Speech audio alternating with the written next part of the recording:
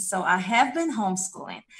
And uh, comparing to, because I, I run a daycare, so I do have the tools and I'm used to being with kids 24 7.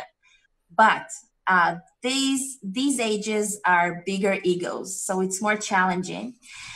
And uh, from well, my experience is that one person can't do it all. It does takes a village to raise a child. Kids needs a variety of people to learn from.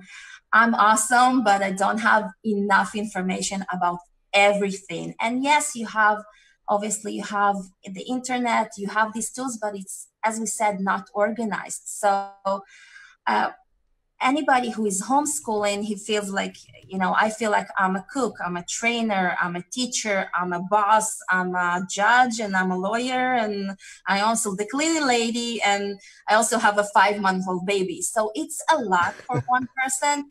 And and I do have, you know, some experience. I have a lot of experience, but other people, other parents are probably kind of terrified and they have no idea.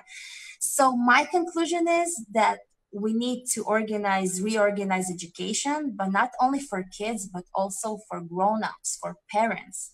Because we as parents, we did grow up on this old educational system and we kind of have no idea. We didn't get the manual. So we need to educate ourselves so we can educate our children better.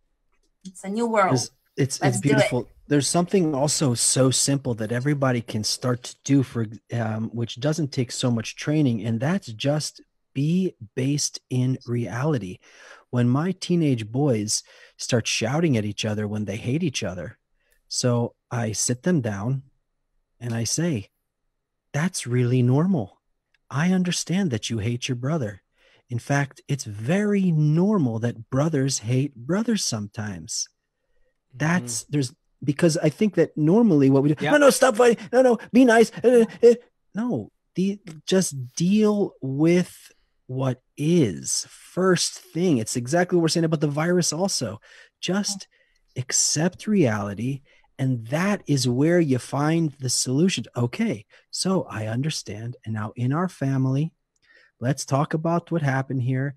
And then in our family now, we're going to love each other. So we, we don't cancel all of the normal things like so you have a kid who's in school for example and he's he's he's got all this energy and the teacher spends all day just pushing him down pushing yeah. him this kid could probably run a what run the whole city you know yeah. but she's spending 4 years just making him shut up instead of finding a way okay mm-hmm. max wow you have a lot of energy so we're with a lot of people let's figure out you got something to say, Asaf? I let's let's just. You're, you're raising your hand like we're in the classroom. So no, I was like, I was like, oh, oh, there's something here I need to add. the the the um, you talked about repression, basically how we are repressing the kids, and I just thought about you know the biggest thing, the biggest thing that we do as a society, not just in the at school is we repress not just uh, these natural urges and understanding your own natural urges and your own human nature and all that, but what the biggest thing that that hurts to see as a as a Kabbalah student uh, uh, that we're repressing is we're repressing children's quest for meaning and purpose. This Ooh, is wow. this is such a if you just think about you know the massive massive effect that this has on society. It, you know, it is not, uh, uh, it's almost not legitimate.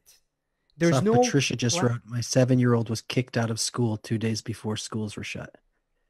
There Kid was probably, I don't know, but he was probably just blowing up inside because he wants to know what am I doing? What what is all this? And everyone, shh, shh be quiet, be quiet, this, sit down. This sit is down. the thing. Our our system, our educational system, and our society doesn't encourage a person who's growing up to research what are we living for. And as a child when you reach when you hit five six seven something like that but just it's the quality of humans. We search for why we are here what is our purpose what is our meaning. And not the parents not the teachers not the media not the games nothing is telling the children even, hey, it's it's natural and you know what? As a human being you should be questioning and researching and that's what we're about. The human species is about discovering its purpose of existence and that is the the main thing that i think that is repressed and that i think that by itself